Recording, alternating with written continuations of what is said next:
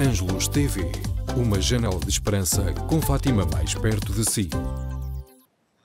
Olá, muito bom dia, sejam então bem-vindos ao Matinais. Vamos falar aqui de uma mensagem importantíssima para dia 19 de novembro. É o primeiro Dia Mundial dos Pobres e a mensagem foi deixada pelo Papa Francisco. No fundo, o que ele nos diz de uma forma hum, mais aprofundada, obviamente, mas deixa-nos uma mensagem que podemos hum, deduzir como sendo uma das principais mensagens uh, des, daquilo que o Papa diz é que não amemos com palavras, mas com obras. Ou seja, no fundo, nós temos é que fazer. Não é só dizer eu vou fazer e ficamos apenas no eu vou fazer. Não. O objetivo mesmo e aquilo que o Papa nos alerta é que temos que amar com as obras, porque as obras demonstram de facto o quanto amamos ou não amamos o nosso próximo. Comigo eu tenho Joaquim Dias, é comentador oficial da Ângelos eh, TV, que nos vai aqui ajudar, no fundo, a desmontar um bocadinho toda esta mensagem do Papa Francisco Francisco e a percebermos que pobreza é que nós temos nos dias de hoje? Será que é só física ou ela também é uma pobreza espiritual, uma pobreza de fé, uma pobreza onde eh, pode estar até a afetar, por exemplo, as nossas famílias e a forma como as famílias se estão a relacionar nos dias de hoje. Joaquim, obrigada por estares aqui connosco. Nada, é sempre uh, um prazer poder colaborar e contribuir, não é? Para a edificação da nossa sociedade. E, de facto, esta mensagem do Papa Francisco para este primeiro Dia Mundial dos Pobres, que ele quis instituir e não, hum, não obscando nada, ofuscando nenhuma das outras atividades que já existem, a, a lembrar estas situações hum, mais paupérrimas da nossa Igreja. Mas eh, quando ele diz que não amemos com palavras, mas amemos com obras, de facto está-nos a dar assim Uh, Sim, está-nos um a abanar. Abanão, está, é? está-nos a abanar, está-nos a alertar uh, para que sentido as nossas vidas estão a ir. É? Uh, que sociedade nós estamos a construir, que futuro nós estamos a preparar para a geração futura. E ele, diante de, desta pobreza universal, não é? Porque nós às vezes pensamos, e quando ouvimos falar de pobreza, vem-nos logo à, à cabeça e à mente e, e, fazemos logo o discernimento que é pobreza material. Isto é, alguém que não tem casa, ou alguém que passa fome, ou alguém que está a dormir na rua. Também isso é pobreza. Mas é muito mais. E muitas vezes, e nós sabemos disso, e, e do trabalho que eu desempenho até no santuário, eh, vejo muito isso. Às vezes uh, não tem pobreza material, mas há uma pobreza de valores, há uma pobreza espiritual, há uma pobreza familiar, uh, há uma pobreza de identidade e é preciso nós agirmos. Nós vemos, e, e, bem recentemente, Cláudia, nós vimos na área da saúde que o nosso país é um dos países da Europa que mais consome medicação para a depressão. Porquê? Porque, de facto, há esta pobreza, não é? Isto, este isolamento, eh, esta, exclu, eh, eh, esta exclusão que muitas vezes se vive. E por isso é preciso agir e, e falar. É muito fácil falar. O problema é agir. Aliás, o Papa, nesta carta, ele a determinado momento, ele diz o seguinte, que uh, uh, o, o, o, nós podemos agir, mas uh, para um alívio de consciência, ou seja, dar uma esmola ou fazer um ato de caridade semanal, diz ele, isso não é, de facto, ajudar os pobres, mas é um, uh, um ato contínuo, que é um gesto silencioso, mas que muda a história da vida daquela pessoa, que resgata aquela pessoa, que levanta aquela pessoa, não é? E por isso, uh, quando me, vocês me convidaram para vir falar disto, uh, o meu coração, uh, isto é, bateu mais rápido, porque muitas vezes eu ando por muitos lados, não é? E, e, em várias paróquias, em vários convites que tenho, e muitas vezes nós vemos, no final, as pessoas vêm ter connosco, ah, eu, eu estava a precisar desta, desta palavra, eu estava a precisar deste, desta indicação, desta, desta orientação porque nós sabemos que as pessoas andam muitas vezes perdidas, não é? E nós uh, precisamos de agir, e não é só o Papa que tem a agir. Aliás, o Papa uh, vai esclarecendo aqui que teve esta inspiração uh, pouco tempo antes de finalizar o, o Jubileu da Misericórdia.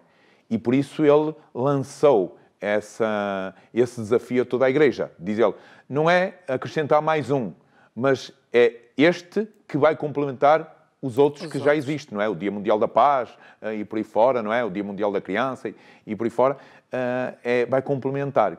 E ele quis colocar no domingo antes do, da, da, do Cristo Rei, portanto, da, da, dessa solenidade de Cristo Rei, para que as pessoas uh, nessa semana pudessem refletir, isto é, fossem, quando fosse celebrar esta solenidade, olhassem um bocadinho para trás e diz, eu colaborei em cicatrizar, em sarar as feridas do corpo de Cristo, ou seja, os filhos uh, de Deus. Uh, até porque é curioso que na mensagem um, o Papa diz que uh, lembra que um, umas palavras do Evangelho de João, capítulo 1, uhum. versículo 13 a 18, em que se refere: Meus filhinhos, não amemos com palavras nem com a boca, mas com obras e com verdade. E depois o Papa diz, e ele lembra que estas palavras exprimem então o imperativo de que nenhum cristão pode prescindir. E recorda que este mandamento de Jesus surge atualmente muitas vezes a contrapor. As palavras vazias que frequentemente pronunciamos, porque lembra o Papa, as obras concretas são as únicas capazes de medir verdadeiramente aquilo que valemos porque na verdade era aquilo que há pouco referenciavas. Quando às vezes damos uma esmola só porque está ali alguém a pedir e nós um vamos e damos, só estamos a aliviar a nossa consciência, não é? é? Não, não estamos de facto a pensar, mas porquê é que esta pessoa está aqui? Porquê é que ela veio parar à rua? Porquê é que tem que estender a mão? Não é? Que às vezes era eu, importante. Cláudio, eu aqui há uns tempos atrás, uh, num dos atendimentos, e, uh, e estou a falar porque antes de, de vir para o programa, eu uh, perguntei à senhora se podia partilhar esta, um, este testemunho. E ela disse que sim. Uh, eu atendi uma senhora uh, dos seus 74 anos, onde uh, ela sente-se maltratada pela própria filha. Isto é, a filha tem vergonha da mãe. E durante esse, esse, esse atendimento, e, e, depois estamos a conversar, eu não estava, eu não conseguia ficar insensível às lágrimas que aquela mãe uh, caía. Isto é, as minhas lágrimas também caíram. Porque eu estava-me a colocar no lugar, no lugar dela. dela, mas também me estava a colocar no lugar de um filho, não é? E como olhando para aquela mãe, como é que eu podia tratar mal aquela mãe que me deu a vida, que foi instrumento de me dar a vida, que me educou, que me alimentou quando estive doente, uh, uh, levou-me uh, ao médico para que eu hoje fosse o homem que sou ou a mulher que sou. E, e é aqui isto que esta pobreza que também acontece, que é uma pobreza às vezes envergonhada, uma pobreza muitas vezes escondida e que de facto às vezes as pessoas até têm vergonha de falar desta mesma pobreza que estão a viver em sua casa, mas que muitas vezes doentes, isolados, não é? Eh, sem ter uma mão estendida para as ajudar a sair de, dessa, às vezes, dessa escuridão. E o Papa fala, fala disso. E, e, tu falavas dessa passagem de São João, mas o Papa, mais à frente, ele vai falar de uma expressão ainda bem mais forte, que é de Santiago. Que Santiago é muito mais duro, uh, que ele afirma, uh, mostra-me a tua fé que eu mostro as obras. E direito de quem é que tem fé. Porque é através das obras. Não, não adianta nós eh, irmos rezar para, uh, para a capela ou para a igreja, não é? Quando tem um irmão à porta da igreja a precisar de ajuda, não é? E não fazemos nada de colo, por isso. E que não o levantamos, não é? Não, não adianta estar lá dentro, não é? Porque Deus não vai atender as nossas uh, orações sabendo que tem um filho ali à porta da igreja que foi ignorado, não é? Aliás, a, a chamada Papa, indiferença. O Papa lembra perfeitamente que quando um pobre invoca o Senhor, ele vai atendê-lo. Claro, é? claro. Deixando claro que tu que invocas só porque estás a pensar no teu umbigo, por assim dizer, eh, se calhar vais ter que ficar na fila de espera claro. e perceber a verdadeira mensagem que Deus nos deixa. Aproveitando essa tua citação de testemunho, Joaquim, será que a nossa sociedade está a sofrer de uma pobreza de amor? Tá, tá, não tenho dúvidas nenhumas. Nisso não tenho. Há, ao número de atendimentos que, que faço, uh, ou que tenho feito, uh, é uh, tudo isso falta de amor. A pessoa não percebeu o que é o amor. As pessoas evocam o amor ou falam de amor mas não sabem daquilo que estão a falar.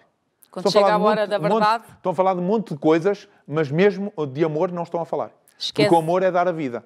Ah, é isso. Esquecem-se que amar é renunciar-se, às vezes, a si próprio sim. em prol do outro. Sim, sim, exato. O amor é dar a vida. E dar a vida tem um leque de situações uh, que nós temos que testemunhar, não é? E dar a vida é fazer renúncias. Dar a vida é não olhar para o meu umbigo, mas olhar para, para o outro que precisa de ajuda. Uh, dar, a vida, uh, dar a vida é. viver o amor é saber perdoar. E isso, hoje, ninguém, tudo vive num egoísmo muito centrado em si, não é? Eu tenho que ser feliz. Não interessa se eu passo por cima deste, se eu passo por cima daquele. O que interessa é eu ser feliz, não é? Nós vemos às vezes uh, nos meios uh, das fábricas, nos meios dos trabalhadores, não é? O tentar uh, salve-se quem puder, sabe-se quem puder. E não importa se aquele é meu amigo ou não. O que interessa é que eu chegue cá em cima, não é? O que, o que interessa é que eu uh, tenha um salário maior, seja à custa que, uh, que for. E, e, claro que por isso uh, nós vemos a sociedade com falta de, de amor, vemos a sociedade perdida, não é? Cega. A, sociedade anda muitos às cegas. Não sou eu que digo, está aqui o, o próprio Papa a, a que nos alerta isso, é? para nos isso. alerta para isso. E, e, ele, e ele faz este Dia Mundial para ver se de facto desponta em nós e estamos a falar aqui, nós cristãos, que somos os primeiros a, a, a ser chamados a dar razão da nossa esperança. E, e, e, ao sermos chamados a dar razão da nossa esperança, nós precisamos passar, testemunhar, para que os outros também aprendam de que, facto, o verdadeiro sentido da vida, o verdadeiro a verdadeira alegria, a verdadeira felicidade está, está aí no, no amor, o dar-se e, e, receber. Uh, um amor que deveria ser unilateral, tal qual o Papa nos diz que é o amor de Deus, porque Sim. ele dá sem esperar nada claro, em troca. Exato. Ele fala, ele fala mesmo aqui, não é? Que um, é, é oferecer a sua vida ao serviço dos pobres, sem esperar nada em troca, não é? é manter o nosso olhar no, fixo no essencial, não é? E o essencial é aquilo que mais precisa, não é? O essencial é aquele. Nós uh, falamos muito, não é? E, uh, e, e, por isso eu, eu agradeço muito à Angelus TV esta iniciativa que, que teve deste projeto Janela de Esperança, que na hora uh, do vamos ver, na hora de arregaçar as mangas, lançam este projeto para aqueles que precisam, das primeiras necessidades, daqueles que estão a chorar, daqueles que está a entrar o frio, não é? E que neste momento têm as suas casas destruídas, daqueles que uh, perderam muitos dos seus entes queridos, não é? E Ângelos, ao fazer este, este projeto, não é?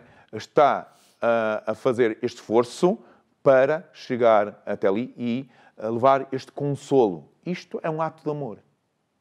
E nós, com um simples gesto, é? um simples gesto que é em silêncio, e o teclar o 760 20 12 13, com um simples gesto, que nem se precisa identificar, não é? Eu estou a ser um colaborador do amor. Eu estou a ser um instrumento desse amor para chegar a tantas e tantas famílias. Na verdade, estamos, eh, estou a fazer aquilo que o Papa diz que é não amar com palavras, mas com, com atos, com, atos, com obras, não é? é? E este é um simples gesto que pode, uh, sem dúvida, ajudar. Muda, muda a vida de, de coisa.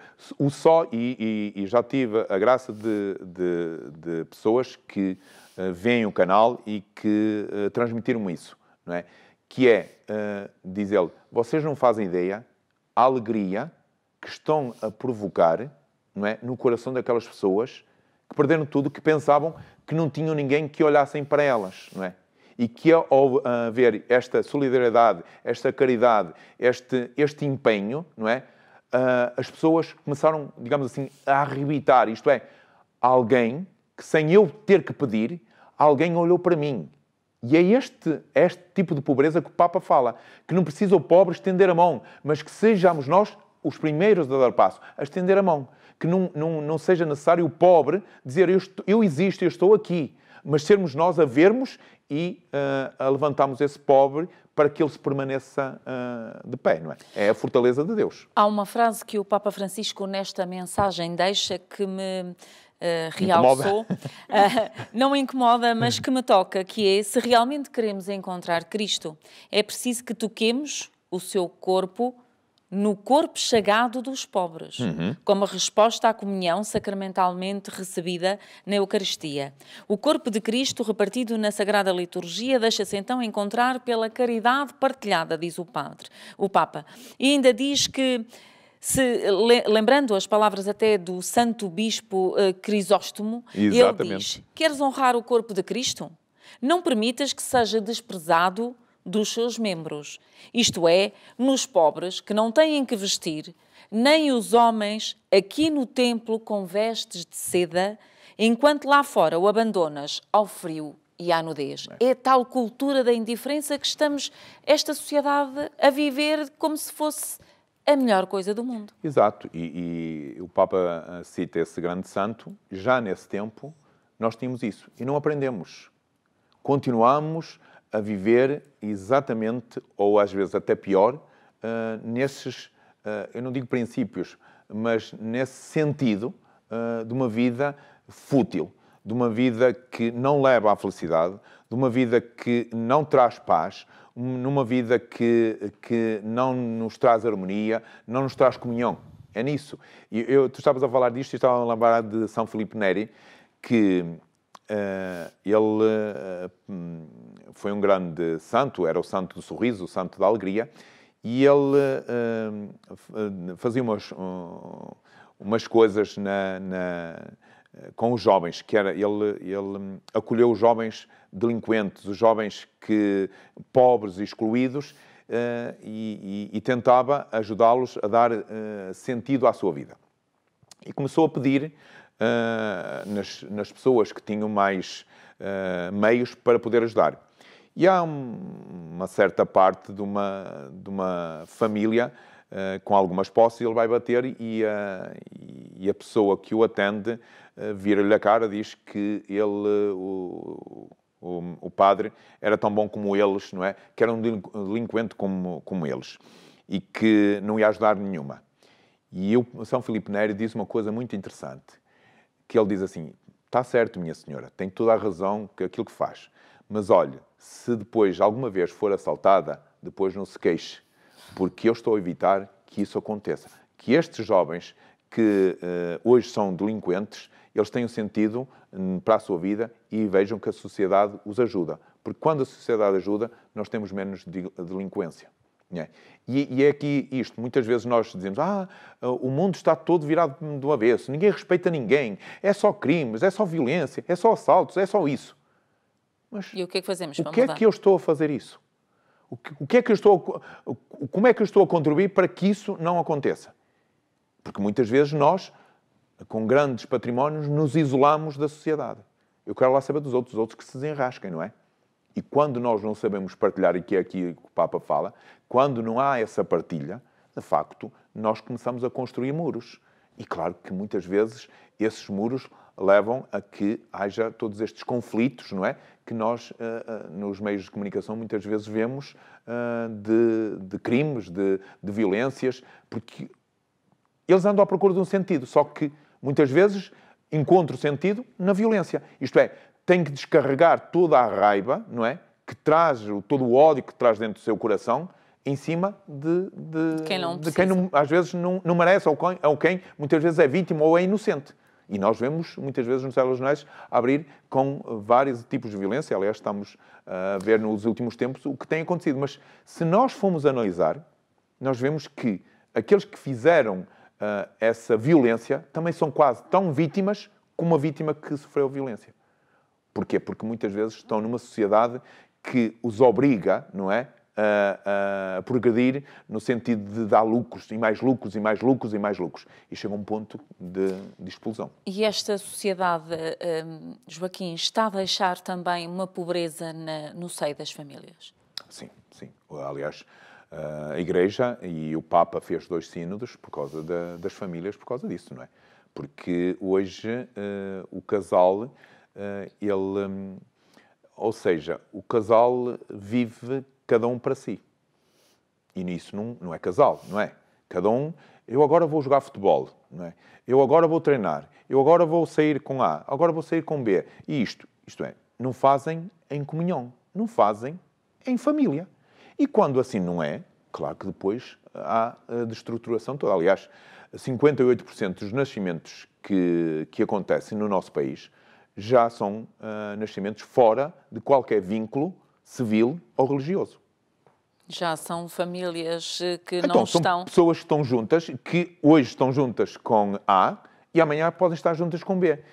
Como é que eu uh, faço esta passagem para uh, os meus filhos. Como é que cria um sentido de família para, para o meu filho? Não, não tem referência. Se não há referência, como é que ele vai uh, seguir a sua vida?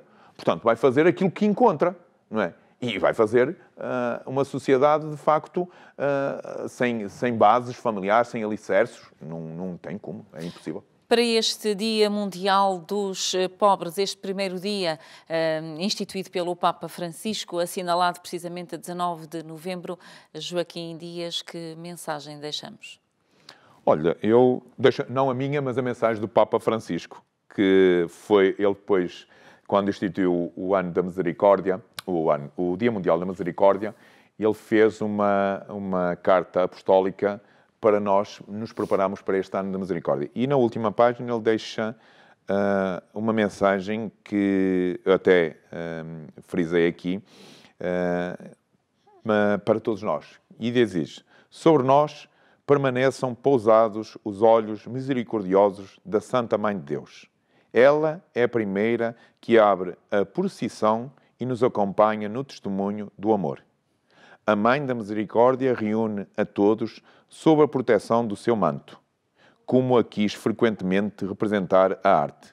Confiemos na sua ajuda materna e sigamos a indicação perene que nos dá de olhar para Jesus, rosto radiante da misericórdia de Deus. Esta é a grande mensagem que deixo a todos, não é?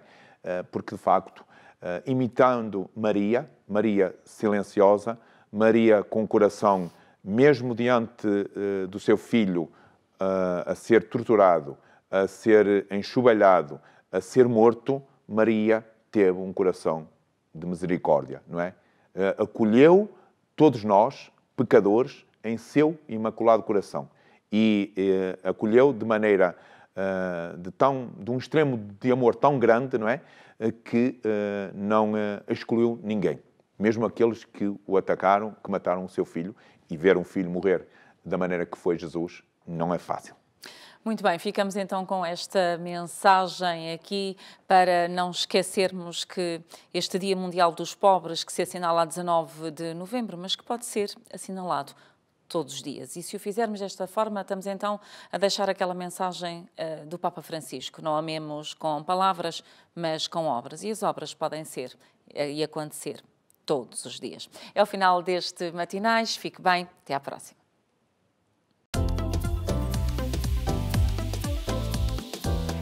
Ângelos TV. Uma janela de esperança com Fátima mais perto de si.